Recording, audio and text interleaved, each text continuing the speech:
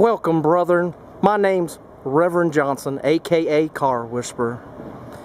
And before I show you this lovely vehicle, I'd like you to bow your head with me at this time for a prayer. Lord, I ask that someone out there that sees this video shall be touched by the Spirit, that they shall have and a want to come take a test drive of this vehicle. And that when they test drive this vehicle, this vehicle will not go right nor left when braking. That the transmission shall drive smooth. Lord, I would ask at this time that if someone does come here and to buy this blessed vehicle, that sales tax shall not be an issue. Because Lord, here in Arizona we pay 9.3, close to your 10% we give you without anything we want in it in return. Lord, I thank you this day. Amen. Now, ain't that a beautiful vehicle? A Ford Escape.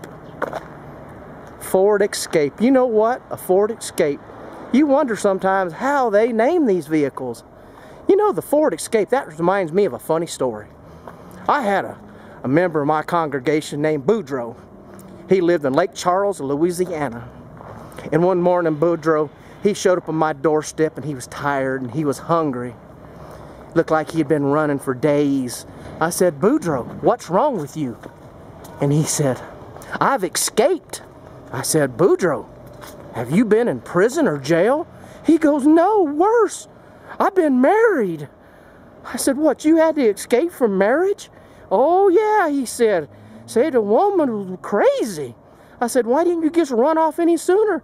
I couldn't. She kept me tied up. And besides, you know, she's a big girl. She's about a deuce and a half, but she's agile. I said, I said, Boudreaux, you're welcome We'll live here as long as you want. He said, I'd like to, Pastor, but you know what? I better be on the run because she has the nose of a hound dog. And off he went. But let's take a closer look at this Ford Escape. This is a sharp vehicle, the, the mid-size SUV. Look at that. You gotta love this. Very roomy, very, very, very.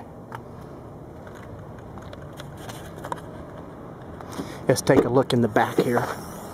Lord, look at that. Oh, lots of room for whatever you want to put back there. When you have one of them church socials, look at all the baskets of food you could put back there. Goodness gracious. And look at the rubber on them tires. That's something right there, I'm telling you. Look at there. Oh, you gotta like good rubber on a tire. Very economical.